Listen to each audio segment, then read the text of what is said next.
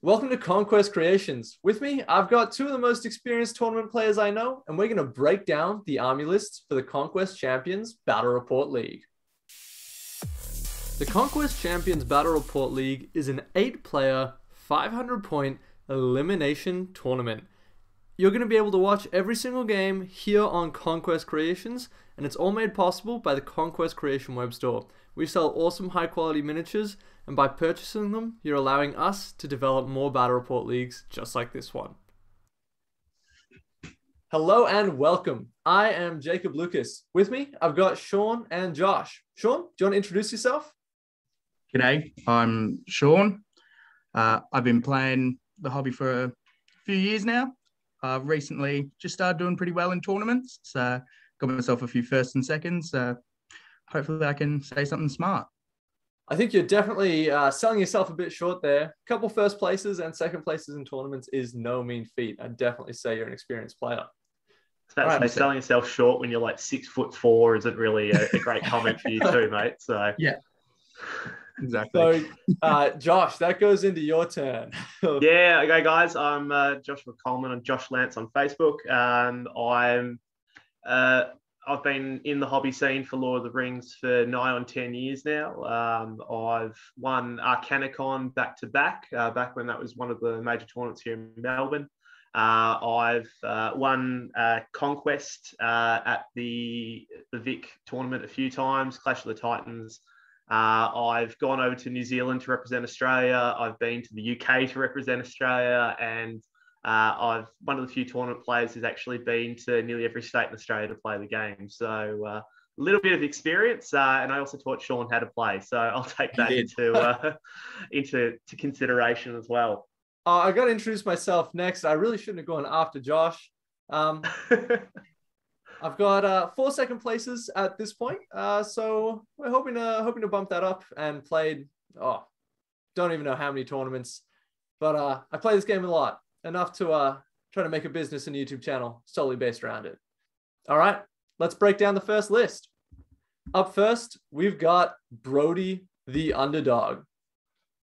Brody is taking a Rivendell list, starting out with Glorfindel, the Lord of the West, with Asfaloth and the Armor of Gondolin. He's got five High Elf warriors with spear and shields, four High Elf warriors with no equipment, and then a high elf captain on horse with elf bow, a lance, and shield. That's the full kit. And then four Rivendell knights with shields, and one Rivendell knight with a banner and a shield. So, Josh, you've had a heap of tournament success with your Rivendell. So, I'm going to give you the first shot at breaking down this list. I think it's a really nice, simple army to start with for those people starting out with Rivendell. It covers a lot of your bases. Like it's got the, the fast moving Rivendell Knights in there. Uh, certainly got a lot of defense six uh, with the uh, higher force of the spear and shield there uh, and the Rivendell Knights. Um, I question being a little bit more experienced with Rivendell and and uh, knowing a little bit more about this army, the benefit of having a bow on that captain. His defense seven uh, with all of that equipment being able to get into combat is where he's going to be most useful and versatile. Um, that, those five points could have been used to give those four high elf warriors on foot uh, a shield or something just to keep them alive. The great thing, and people often forget about it with an elven blade, is that you can choose to go two handed even if you have a shield. Uh, and giving those guys a shield would just give this army a little bit more survivability. Elves are a great unit, uh, arguably the best heavy infantry in the game, considering their fight their courage but you do pay a premium for that in points. And if you're paying a premium already for a really good fight warrior, you should be giving it a shield. And I just think that the the, the only downside to this list as a Rivendell player that I can see is that is taking a bow on that captain. Yeah, I think I mean I totally agree with you. Shields on everything with Rivendell. When you got five five and you can shield, you're becoming really, really durable. And especially because it gives you the plus one defense as well be, being a player that doesn't really use Cav all that often, I question whether it's worth having the Rivendell Knights or whether you drop the footman and just go all out Rivendell Knights. But I'm not a Rivendell player. Josh is the one who tormented Victoria for however many years with Rivendell Knights. Uh, this is his domain. the reason you just take the Rivendell Knights in that list is simply so you have something that can kill high defense models um, and just the ability to knock things down. Elf strength three is probably the one detriment to the entire army. Obviously, they've got access to elven blades that you can go one handed or two handed with. Um, you just really need something that can dish the damage out because the amount of times that you'll fight against dwarves or another army that's defense seven or higher, uh, even defense six, really is gonna is gonna push you. So you might win the combats, but not being able to do do any damage outside of your heroes is going to really hurt your army moving forward. All right, well, let's jump into our next player. We've got William the Isengard guy. He's playing the Assault on Helm's Deep Legendary Legion. So it's the Legendary Legion from War in Rohan. Uh, he's got an Uruk-hai captain with eight Uruk-hai warriors with shields. Sorry, that Uruk-hai captain has a shield as well. Eight Uruk-hai warriors with shield, eight Uruk-hai warriors with pike, one Uruk-hai warrior with a pike and banner. Then he's taken an Uruk-hai shaman, two Uruk-hai berserkers, five Uruk-hai warriors with shield, five Uruk-hai warriors with pike, and finally got assault ballista. So this is the legendary legion where his captain is getting plus one attack and wound, and that assault ballista is getting rerolled fail misses and scatter rolls. I'm afraid of this list. Yeah, I 500 points for the Isengard Ballista. Or odd, I say odds are, but no, there's a very high chance that any army coming towards him is going to lose a lot of models beforehand, especially if they don't spread out, which what you need to do against them. But look, I think he's there to just ruin someone's day, really, isn't he, with that legendary legion? Yeah, absolutely. And Will, he did recently come second place at a tournament in Adelaide using uh, an army similar to this. I don't know if it was the same composition or not, but he's clearly experienced with this Assault on Helm's Deep Legendary Legion. I, I, I must be having a brain moment because I thought that Uruk-hai Shamans were a minor hero and could only have a warband of six. You are but... totally correct, but one of the special rules for the Legendary Legion is their warband sizes are increased by six. Oh, brilliant. Oh, cool. Okay, shit. that answers that question. I was sitting here looking at that going, wait, hang on, am I missing something? I really, I must be missing something. But um, yeah, that makes a lot more sense. That's uh, that's really good. Um, I've always played Uruk-hai a little bit different to people. I actually don't like pikes. Oh, oh, that's a controversial statement. It is a very controversial statement. Uh, it has caught me out several times. Uh, Kylie is not a big fan of my way of thinking. Um, I just find that people are too keen to put pikes and to spend time getting their models of three fighting one other model with your Uruk-hai at the front with the shield and sword and board. And what I've found is that more often than not, actually having the two Uruk-hai in there gives you more of an option because you can shield for the four. So I think I took to uh, Masters like one of the first times I'd ever ran a 52 model Uruk-hai army where 36 of them were just Uruk-hai warriors with shields. Uh, and it was actually traumatic for people to play against because they're like, there's no defense five for my strength three guys to kill. What am I meant to do? Yeah. Uh, that being said, the sheer amount of numbers in this list is actually amazing. Like they're all strength four. Uh, you've got 30 plus miniatures here that uh, 30 plus. Yeah, I've messed that wrong. Too bad, have I? Uh, I think I'm mathing good. I'm, I'm, good. Just about. Good. Yep. Cool. Yep. Uh, so that's pretty solid. And then you got the Uruk-hai Ballista as well. The only thing you can question is like, could you have put one or two crossbows in there? Um, to be honest, I think with this list and built around that ballista, you really need to put the pressure on your enemies straight away. So I like the fact the entire army is designed to be moving forward. There's not really going to be something that goes, do I sit back for a turn or not? So from my point of view, I really like the list because it's it's one of those armies that kind of pushes that assault mentality that the list really needs to have. Yeah, it's interesting what you assault on Helm's Deep. Mm. It's interesting what you said about how you run Isengard because I think I'm polar opposite to you. I played a 750 list. I probably played oh, 35 games with it, and it doesn't have spikes and bombs. So it's I go pikes, berserkers, and crossbows, and there's no space for shieldmen in there. I actually quite like the idea of not taking too many pikes, because yeah, it, it, stops you from potentially trapping yourself wanting to go three deep with your pike wall. as opposed to the Eastlings who have their phalanx rule, where that Um, allows you yeah. to do that.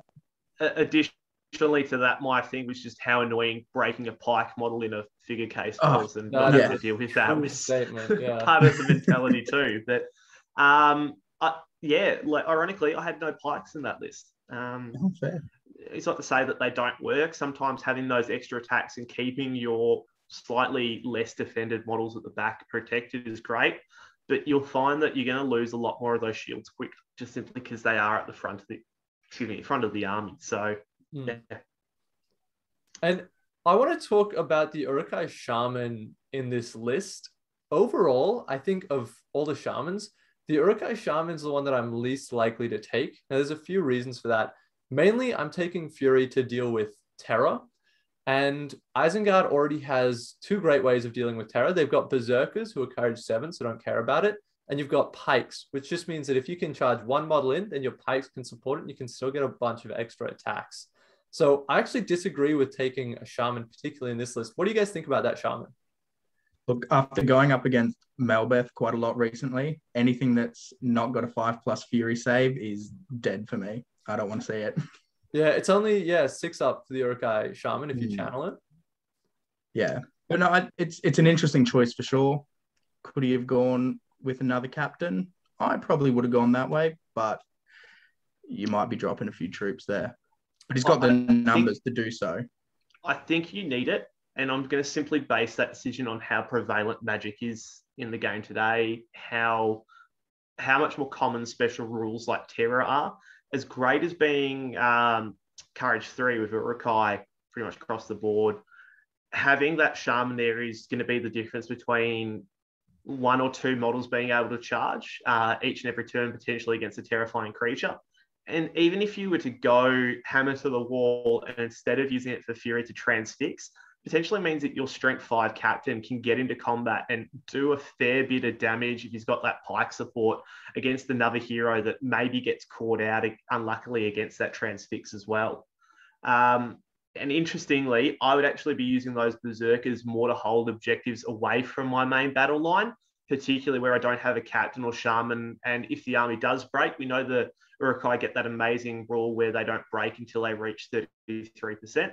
Um, but the just being able to have those two berserkers in the list to basically hold objectives and intimidate as well uh, is going to be something really helpful. And again, having the shaman to keep the army around to help pass terror checks to charge, um, and even the odd enemy sentinel or spectre, which might target a model and try to throw a spanner in the works by moving you, it gives you an option or a way out of passing those. Yeah, and we do know how prevalent sentinels and specters are in our meta. You see them quite often, so it is worth really having a plan to deal with them.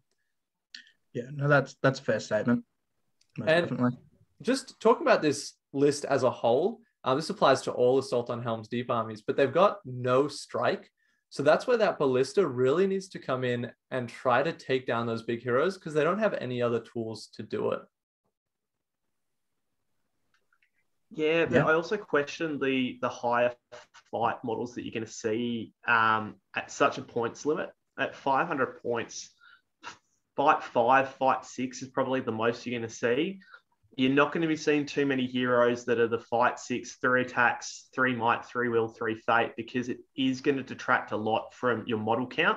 Uh, we just saw it in the last list with uh, Rivendell, like taking uh, uh, Glorfindel is such a huge amount of points that you got to sink uh, 170 points from memory uh, into a model to, to, to take at 500 points does detract a lot from uh, the model count that you're going to get. And also potentially it takes away from how, mon- how many heroes or how you can support the army as a whole. Yeah, I, I definitely agree with that. I think that the ballista is still a great choice. Even if you I- don't have those big hero targets, it's still going to be able to put out so much damage. Um, and a big thing that people don't realize is if it hits the combat that anyone's in, or a model is hit and then flung into that combat, knocks everyone prone. So it's really good at just nerfing heroes by just knocking them prone and saying, Glorfindel, you can't kill anyone this turn because you've been knocked prone. Yeah. Even the psychological factor of the ballista, though, that's that's big. That's a big part of the game. I've recently learned is is the psychological factor of certain models, and siege weapons are perfect for it. you know, oh, it's it that threat down. potential, holding flanks down, whatnot. Yeah. It, Yeah. It's ground denial. Like no one is going to run through open open ground towards a siege weapon. like uh, uh, you look at the statistical chance and odds, it's the exact same as if you were behind cover. But the fact of the matter is that people will look at that and go, "I've got to run eight or nine inches through an open area to get to that thing. I'm going to lose models." But there's ways around it. That being said, though, if this thing is going to be amazing against the monsters that you do see at this points limit. Like if somebody was to take like a cave drake or a uh, just a troll in general, something like that is going to be the big difference between having control of the battlefield against those targets as well. Yeah. Well, I think we've broken down that list. How about we jump into the next one? Yep. All right. So uh, this army is actually my own army. I'm Jacob, the Conquest creator. And uh, talking about big heroes, I've got one. So I'm playing a Last Alliance themed army. I've got a Green Alliance with Rivendell and Numenor. So I've gone with Gil-galad, the High King of the Elves, on horse with a shield. So he's fully kitted up. I've got seven Kingsguard with spear and shield. Now, those are elven warriors that get a one point upgrade from Gil-galad that takes them to fight six. Uh, I've also got three high elf warriors with bows, and then a captain of Numenor with shield and heavy armor, four warriors of Numenor with shield, four with bow, three with spear and shield, and then just one with only a banner. So, what do you guys think? 24 models in that list with Gil-galad at 500. That's not bad at all. You've got, yeah, what is it, 23 models supporting Gil-galad when you eventually get yourself into combat. I'm genuinely big fan. I do just like any Last Alliance list. It's always a lot of fun to see on the table. Don't see them too often, but big fan. High defense captain. A, a shit version of the Dale captain is what I call the Numenorian captains. Um, but yeah, they're great. They're absolutely great. So it's it's a solid list. A nice number of bows in there. I love bows. That's my bread and butter. So that love it. I look at this list and go, that's something that I would probably run. It's a really nice little um, list that's themed around a, a, a key battle in Middle Earth. Um, the Captain of Numenor brings in heroic march, which is an absolute amazing bonus to have in any elf army, uh, particularly amongst all those Numenor warriors. But again, I look at this and go, this is very much a uh, it is a glass weapon or whatever the term is. It is something that can, has a huge amount of damage potential with all of those uh, strength four Numenorians, which is great. Uh, but that being said, there you part of me also sits here with a little bit of nervousness going, it's a one fate hero and another one fate hero. The survivability is there because he's high defense, but uh, at least with Glorfindel, you've got anti magic in him with his uh, armor of Gondolin and his own innate special rules. But this, uh, like Gil-galad, personal experience, I've used him a heap. Is an amazing, brutal character who can dish out potentially more damage than anybody else in the game for uh, a hero of his stature and size in terms of model miniature base. Uh, but he is very, very brittle. And if he gets caught out, he can die very, very quickly. Uh, so it'd be very interesting to see how this list goes against the other armies on the day. Um, with that one fate, you certainly wouldn't want to get hit by a ballista twice, Jacob. That's all Yeah. I'm going to say. I was I gotta say, that exactly going to say you're not going to want to go up against that. So my thinking behind this list is I just want to stop my enemy from doing from damaging me in any way. So I've got fight six spears that are supporting my strength four troops. So I've got high fight and strength. So I'm not planning on losing any fights and I'm planning on killing things when I win. And at 500 points, I'm hoping no one's brought anything that's going to stop Gil-galad because he, as you said, Josh, just has insane damage output. And if he can go in and you know charge two models, call a heroic combat, charge two more, and kill four models, and do that two or three turns, and then get a hero at some point. If he can kill a hero, he gets a point of might back for the Blood and Glory special rule. He should be able to put out a lot of work. I think he is a bit of a gambit though, because if someone brings something that can stop him, they're going to stop my whole army. Yeah, I the, the only other critiques, Jacob, I can give about this army is you've got Numenor in there that aren't taking full advantage of their special rule, the Blood of Numenor. They Yes. don't have they don't have uh, uh, Elendil or uh, Isildur in there to kind of gather around and take advantage of their resistant to magic special rule. Um, the other idea about having your Numenorians at the front with your elves behind, um, I'd almost be having your elves at the front. I know they've got spears and everything like that, but a, at defense five, defense five, that odd number, particularly in infantry and infantry with shields, is always a very, very tricky one. Uh, I know I've used it in Dale quite successfully with defense five, but then again, I've had another 12 miniatures on top of what you've got Yeah. here in this list at defense Yeah. five. So I can take a few losses. I'm just concerned, um, particularly being that lower defense. And once you do get to combat, if you do lose, you you your frontline infantry are dying on fives to a basic uh, any orc or, or human three, yeah. men model in the game, uh, as opposed to a defense six model, which is going to survive a little bit longer. Uh, know, it'd be really interesting to see how you use these in game. Uh, but from a list perspective, I would, I I think it's a great list. I just think you've got the infantry combination the wrong way around.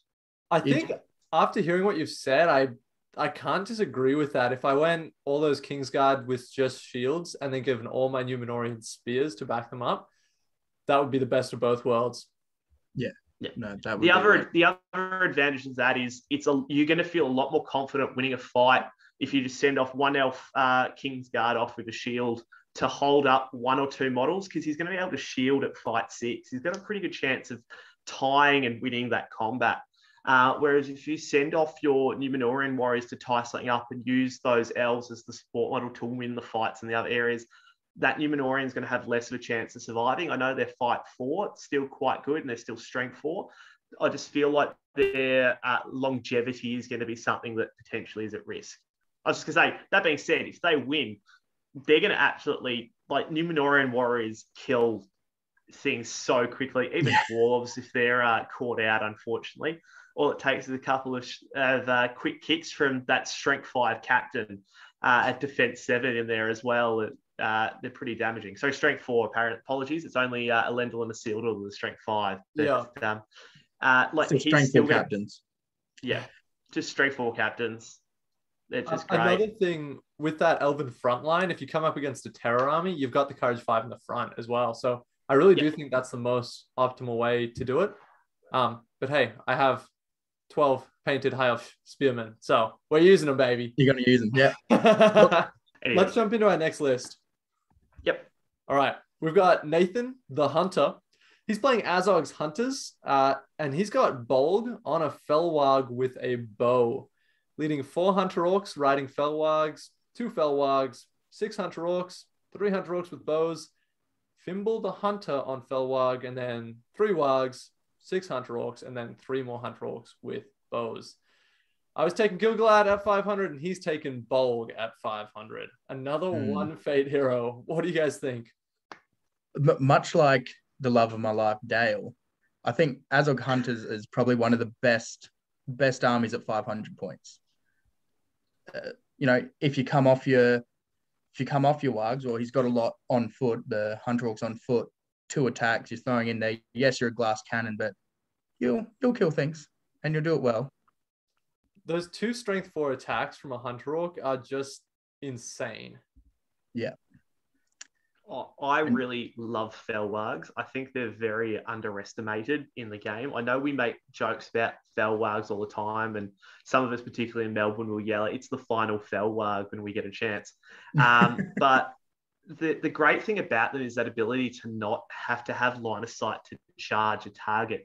And in this game, particularly with how we play terrain in Victoria and to a lesser extent New South Wales, we have a lot of terrain that is actually great for blocking line of sight. And the people who use Fell Wargs really well in Victoria, the people who are able to get them out of line of sight, get them close to the enemy where your opponent can't see them to shoot or charge or take them out of the game, and then having them run around a corner and pin something down or, or tie it up for a turn. Um, particularly with this list, as as Jacob said, Bolg is quite uh, is defense one. Is, so fight one fate point. It's one. Sorry, Hell it took me a little while to get it out then. Um, with the Fell Wargs, at least it gives you an opportunity to tie things up and let Bolg fight things on his terms. You can use those wargs as a defensive measure to kind of pin stuff down, let Bolg deal with a person at a turn. They're one of those unit choices that I think actually can add a lot to an army. So I love the fact he's got a heap of infantry models in there. And I love the fact that he's taken the time to put a few Fell Wargs in the list without models riding them, just to help the army uh, get to get to grips with what it's going to have to face. Because the Hunter Orcs are going to have to get to combat. They are defense four. It's going to be very hard for them to get there straight away.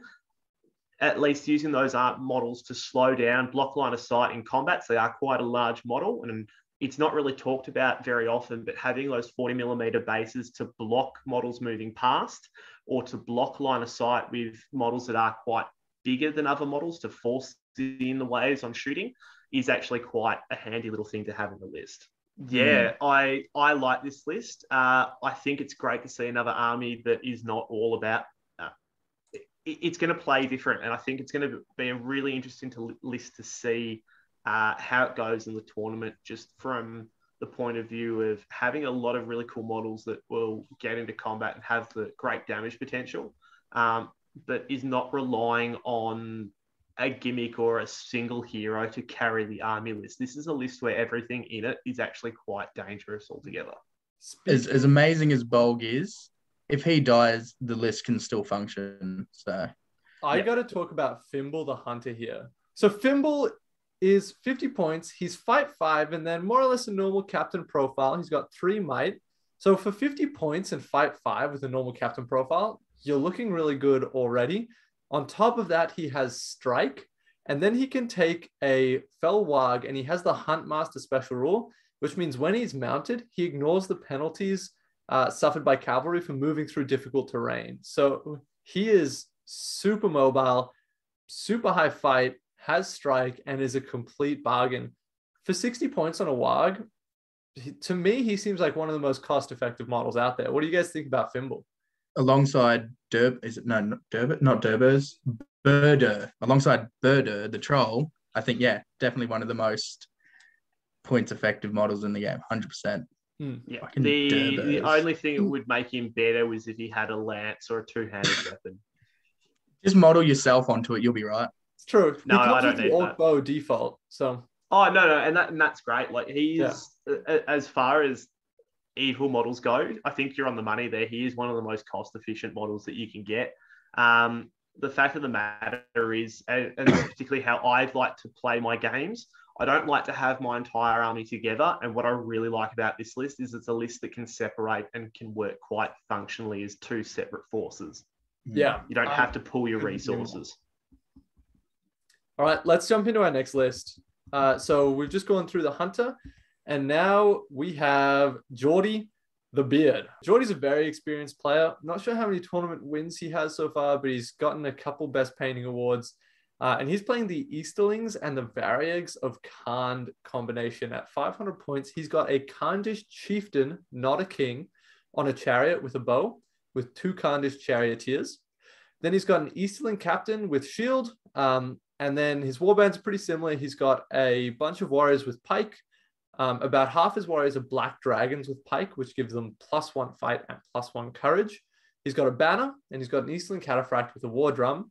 And then he's got one more warband that's pretty similar. Um, it's an Eastern captain with shield, four warriors with shield and pike, and five black dragons with shield and pike. So all his warriors have shield and pike. About half of them are black dragon. He's got a Khandish chieftain, two Easterling captains with shields. What are you guys thinking here? This, this is going to be real weird, but I'm going to say it anyway. I'd almost want to drop a few of those black dragons to just make them regular Eastling warriors and give his front line of his pike flails.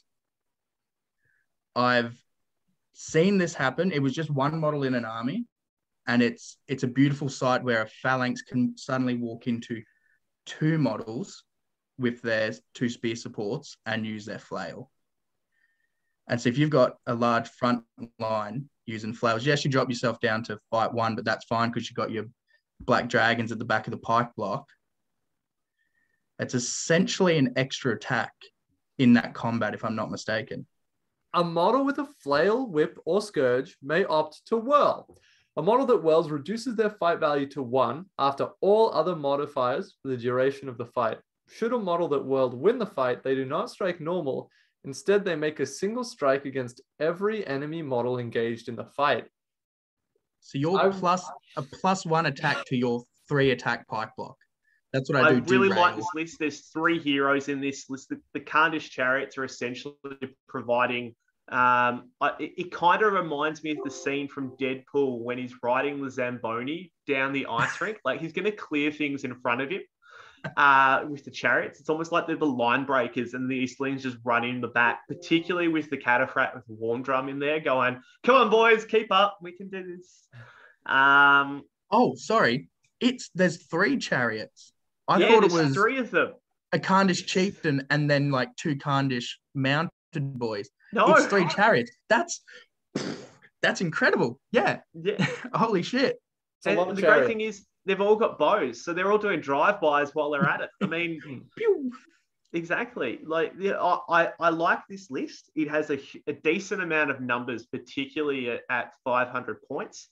It's got a heap of defense six, which sits really well with my normal play style. Those chariots take up a heap of space, um, Oh, just because their bases are so wide. So it's going to be interesting to see how he, you know, has his phalanx, phalanx somehow support those chariots when their bases are so big. He's going to need to send them around the flank, but they're not that maneuverable with their weird movement rules. So, yeah, I think I- that's the issue with in- all in- chariots. But yeah, it's it's interesting. In terms of the evil list here, I think it has a lot of damage potential, particularly with those chariots if he uses them right.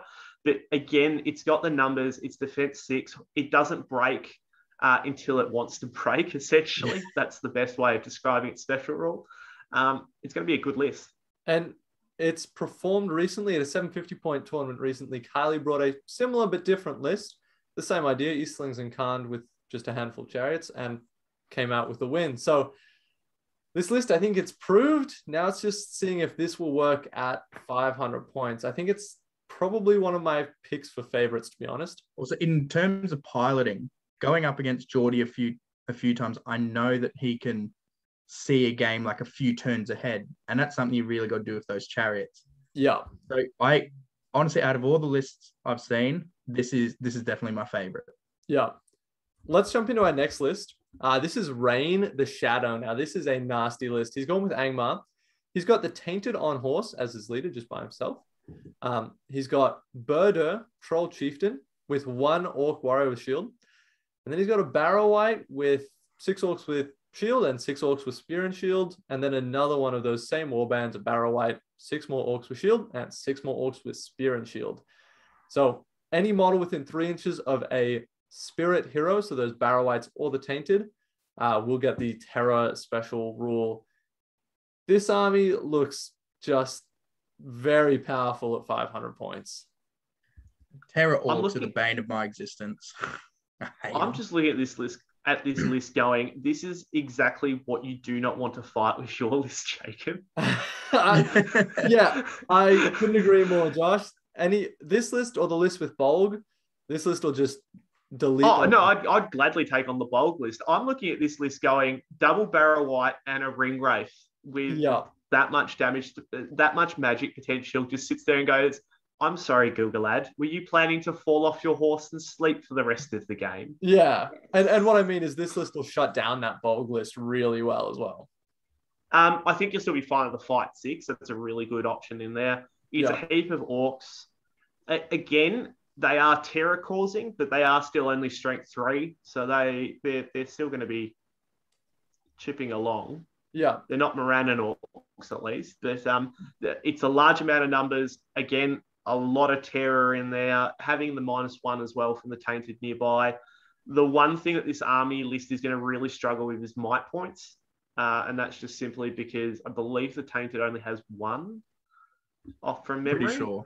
Yeah, and Buhrdur has three, so it is going to run out of might very quickly. Um, and those Barrow Wights, uh, even at defense eight, or they are defense eight. defense seven. Bad. I'm defense seven. I'm having one of those days where my memory of all of my models is like going out the window. Uh, so Look, it's it's work- better than my memory of all the models. yeah. Um, they're they if they can shut down a hero quick and early, you're just going to overwhelm your enemy. The tainted gives you a compel um, and a tra- uh, just sat will drain courage even. The tainted just chucking a, a two a three point drain courage spell a turn on someone like Gil-galad potentially dropping him down to courage one. Or even doing this to Bolg and just watching Bolg sit there as a courage zero potentially uh, hero not being able to charge a terror causing orc is absolutely hilarious. And I hope this army does well simply for that fact. Drain courage is my favorite spell in the game and I want to jump in with the might points. I totally agree with you that this list is low on might, but remember the Tainted has a special rule, which at the start of the movement phase, if he spends a point of will, then no model within six inches of him can benefit from a with me call from a hero. So it means that if the enemy, uh, if you have priority and you drop that, the enemy's heroic will be nowhere near as effective as it would be. So it's a really good way of conserving might points in a low might army the other thing as well is does that affect standfast? You've probably it does. That's, that's true. Yeah, so that's also another huge thing, particularly if you look at a lot of the armies that we've seen so far have been around that courage three mark, elves being the exception to the rule. Um, having something that can take away your standfast off your big bad hero uh, is actually quite good. And from what we've seen in the list already, there's a couple of heroes of legends that we've seen amongst them Gil-galad, Bolg, uh, something like this is going to be the big difference from an army breaking and sticking around or not. So, yeah, couldn't agree more. So, the Tainted's a pretty decent hand grenade. Throw them in there, roll, roll a few sixes to do some wounds. That's true. Man. Yeah, at the start of the combat phase, every model in base contact with him rolls a dice on a six, they just take a wound. You know what I think is also really awesome is this list that we've got here from uh, Al with the King Under the Mountain. All right, uh, read so it out for us. 500 point list. Here we go. Khazad-dûm. Uh, we got Durin, King of Khazad-dûm, with 15 Hearthguard. Oh, that is that that's painful. Just to read that aloud is painful. Uh, one dwarf warrior with a banner and shield, and then we've got a dwarf captain with shield, and five dwarf rangers with longbows. So beautiful list. Let's move on to the next one. yeah, yeah, that, pretty much. Like, um, Josh, just explain what a Hearthguard is. Uh, strength four, defense seven, bodyguard. Burly. Uh, burly, two handed weapon. Yep. Uh, a Khazad guard with a two point upgrade from Durin. Uh, they are savage. Yeah. 15. Like, what are they D8? No, D7. They are D7. Still, yeah. it's D7. Like, oh, yeah. Um, it, it's just the high defense. It's the bodyguard. Um, the movement five is literally the only bad thing about that miniature. Yeah. um, the they are a they hit like a absolute sledgehammer. Um, the key to beating this army is going to be 100% positioning, 100% using models that are uh, a, a, higher fight or have a high strength. That is going to be the key to beating this list. Yeah. Um, I mean, this is one of the few lists I think honestly looks at that Uruk-hai Assault Ballista and goes, "Do your best. Try it. Come on." fuck around and try, fuck around and find out. Yeah. Exactly. Um, my only critique there is the dwarf captain with a shield. I I think in this list, as nice as the dwarf rangers with longbows are, I would have gone throwing weapons. I would have gone a dwarf captain, uh, sorry, with the throwing weapon instead of the shield, and a whole bunch of dwarf rangers with throwing weapons. It gives you that small little outflanking force that could have been used to harass the flanks of the enemy. Force them to to group up and go head toe to toe with what will be essentially the anvil of the the, the Hearthguard at the front there. Yeah, I mean, this is 100% the what that is the hammer and the anvil in one. The Hearthguard are just so powerful. Yeah. Look, Geordie, mate, I like your uh, I liked your Easterling list, but oh, I don't know, man. I think this is the this might be the winner. So the like counterpoint it. to this list is you got no spears. So you, you have the banner, but no spears means that pretty much always one attack. Um, so against a lot of a lot of the armies have those spears back them up, so we'll just have more dice. Um, to hopefully win more fights. but he's got the numbers, and when you don't have the spears, you can you, you're not scared of spreading out into a longer line and coming around to take away your, your opponent's spears. And yeah, he's got what's that 23, 24 models. That's, I- I'm just going to point out the case in point here. You've got. Let's have a look at the only list that we've seen so far. We've seen Hunter Orc Warriors with the same fight. So if they tie a fight, they're rolling off. Hunter Orcs have two attacks needing sixes to wound these guys. The Hearthguard are turning around to those poor Hunter Orcs going, I'm sorry, I'm wounding you on threes. Yeah, and the Hearthguard have fight four while Hunter Orcs will fight three, so they've got really good statistical odds of killing Yeah. versus being killed.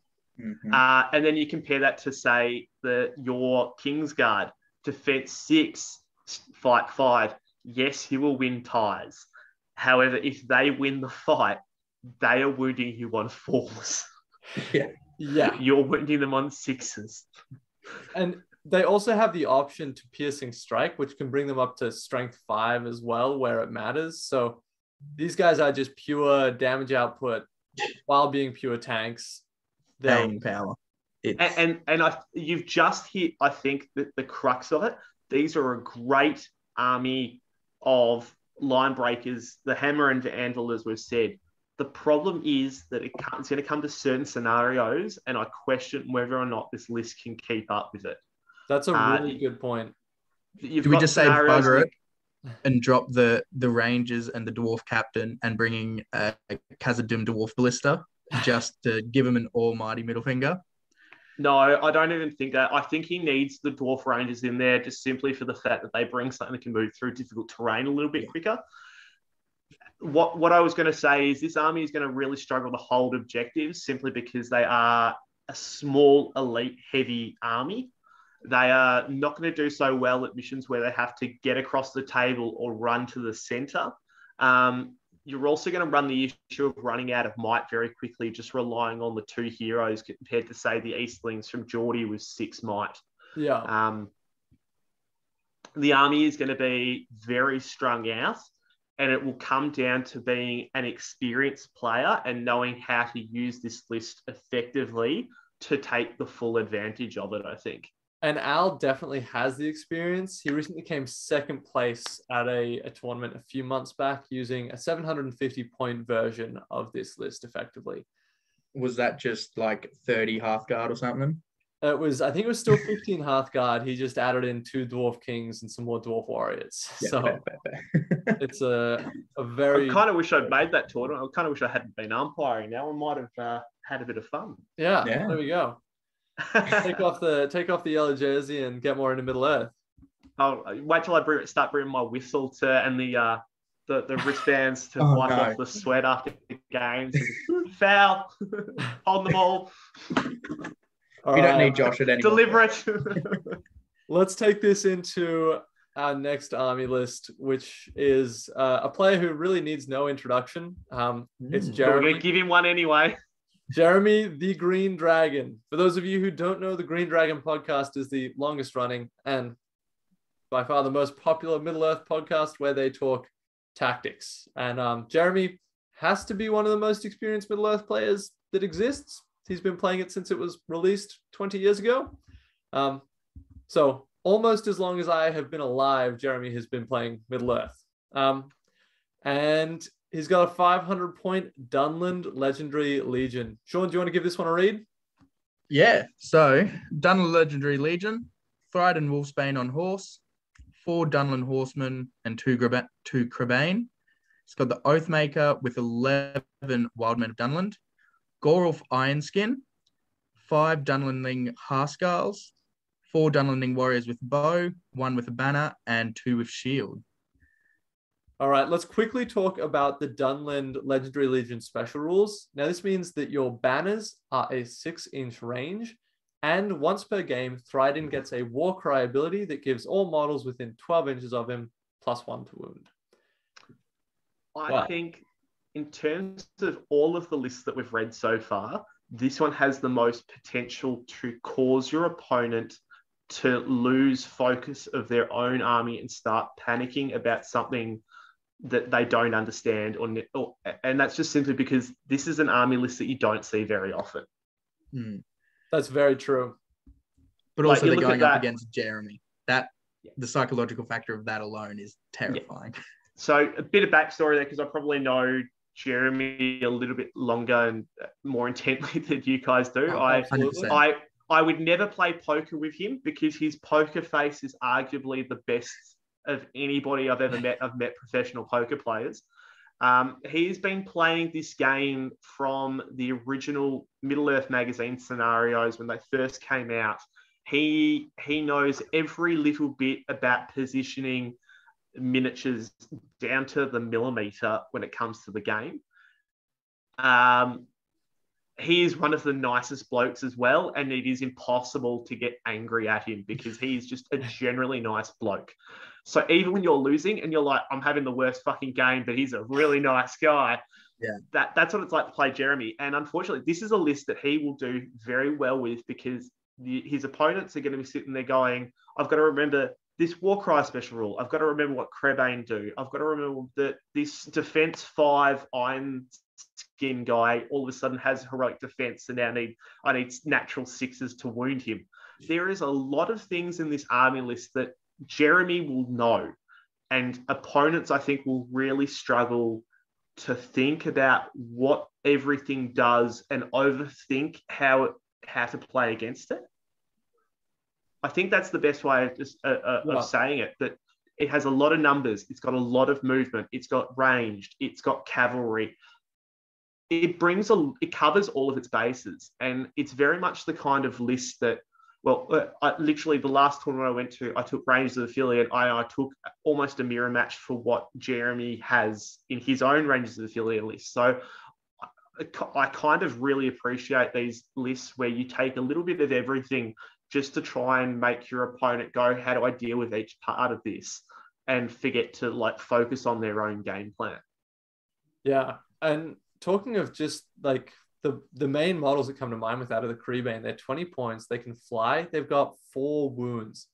Mm. When these got released, a lot of people didn't understand them, but they are incredible. They can tar pit. They can take objectives. They can only be hit by archers on the roll of a That's on six. so they sixes, can be yeah. screens. They are just so effective at running scenarios, jumping over lines, and harassing. They can do everything. Um, and with four wounds, they you can risk them, and it doesn't matter because they'll come out on top.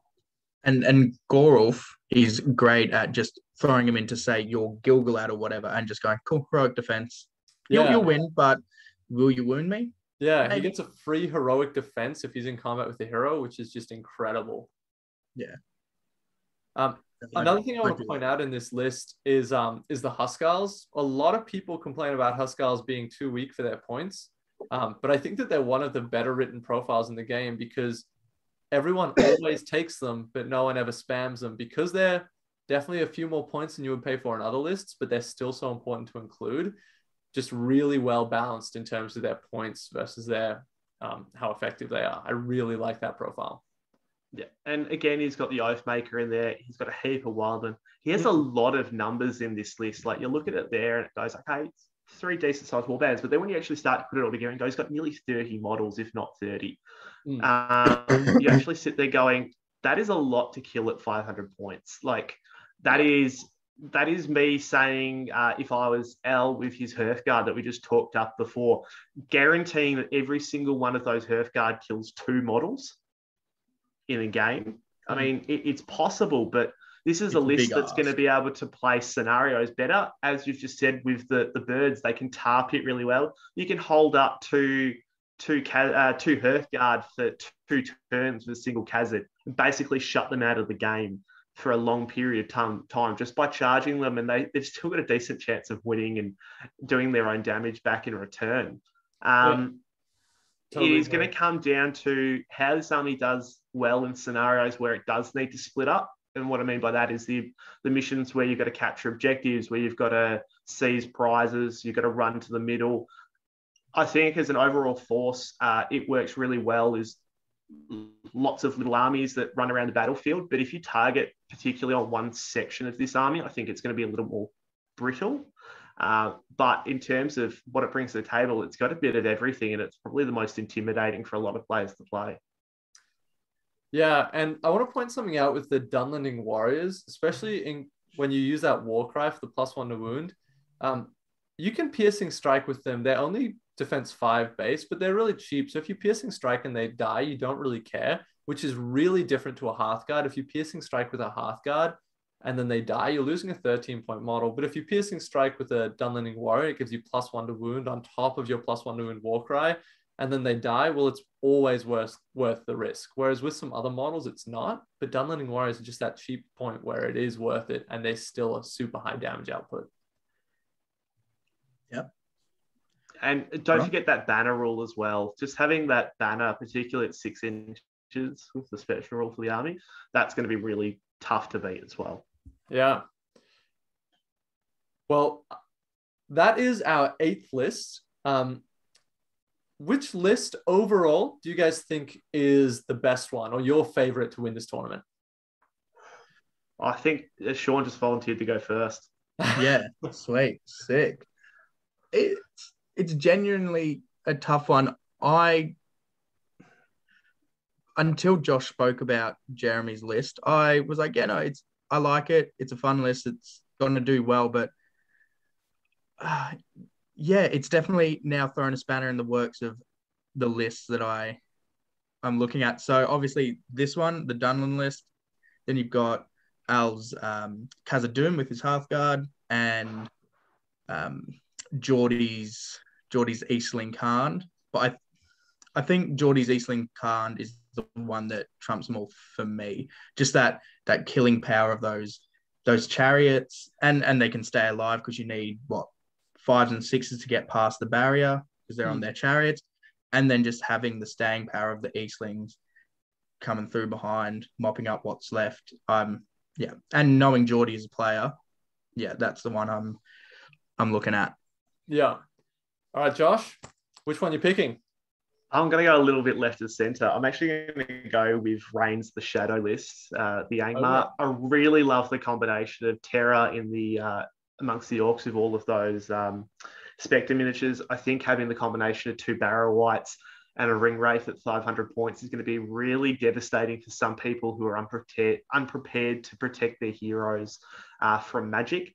Uh, having the ability to paralyze um, heroes, Buhrdur in there as well at fight six to run in there and go, oh, hi, little Khazad guard, bye, little Khazad guard, uh, or even to be able to run into just a group of things.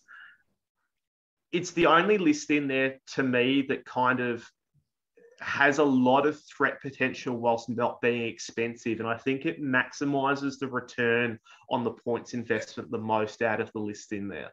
Um, so I, I, think that list will do very well. I'd be surprised. Um, uh, it, needs obviously someone using it really well and taking full advantage of those uh, spirit rules amongst those Angmar orcs, but I think it'd do really well. Yeah, and that leaves just my choice. I think I have to pick the Green Dragon, Jeremy. Uh, he's definitely the most experienced player, and that Dunlending list just has so much that it can do. He's got four cav, he's got the Crebain, he's got some spears, he's got a horde of cheap troops with are fearless from the Oathmaker. I think it's gonna be really, really hard to stop, especially in Jeremy's hands.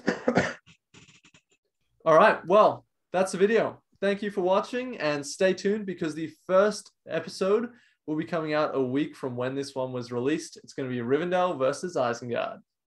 Catch you next time.